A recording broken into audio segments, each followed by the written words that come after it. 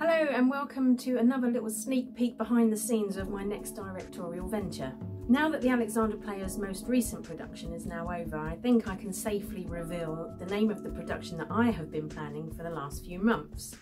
Following the most amazing experience I had last year directing The Deep Blue Sea by Terence Rattigan, uh, my next directorial project will be a fabulous little play called Harvey by Mary Chase.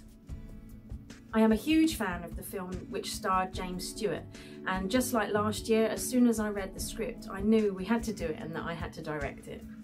For anyone who has never seen the film or the play before, it's a, it's a, it's a lovely little film about a chap called Elwood P. Dowd who happens to have an imaginary friend that is a six foot, one and a half inch tall pooka or rabbit.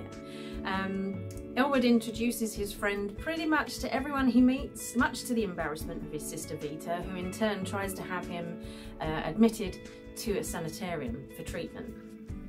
The video you're about to watch I actually filmed a few weeks ago uh, when I was preparing some boards that I had been given uh, by Chris, who is a member of the Central uh, Charlton Residents Association uh, in Charlton. His mother used to paint as well and rather than just dispose of the boards at the local amenities, he was actually offering out to other artists in the area. So I took him up on the offer and brought home quite a, quite a few boards. So uh, again, thank you Chris for the boards. As you will see, they came in very handy.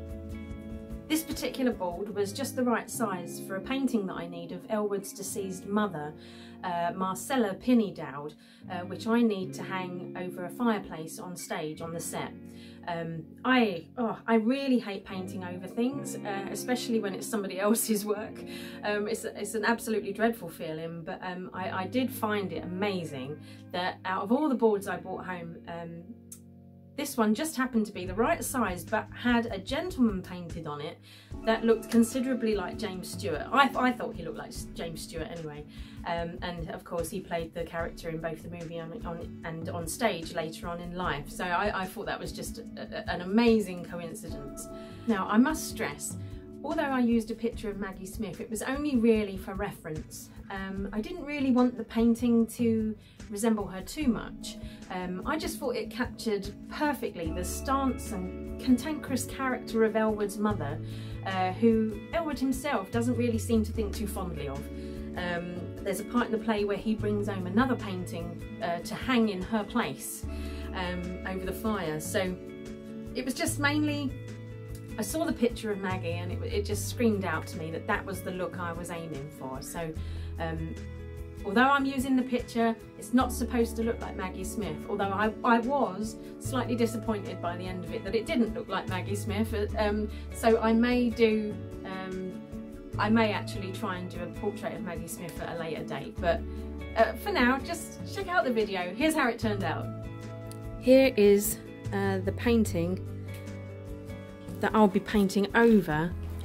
Really don't like painting over other people's work, but um, the board is just the right size, but as you can see, he does look a little bit like James Stewart in his later years.